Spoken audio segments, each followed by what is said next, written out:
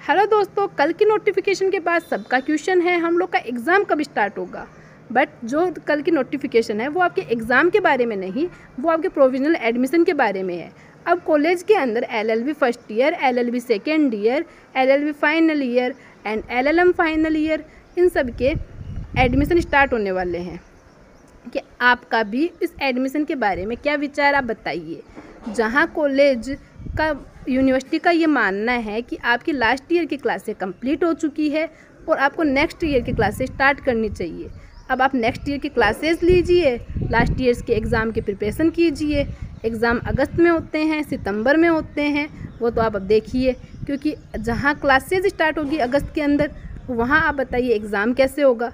मुझे तो कुछ समझ नहीं आया कि यूनिवर्सिटी क्या चाहती है। आप लोग को समझ में आया तो आप हमें कमेंट में ज़रूर बताइए। Thank you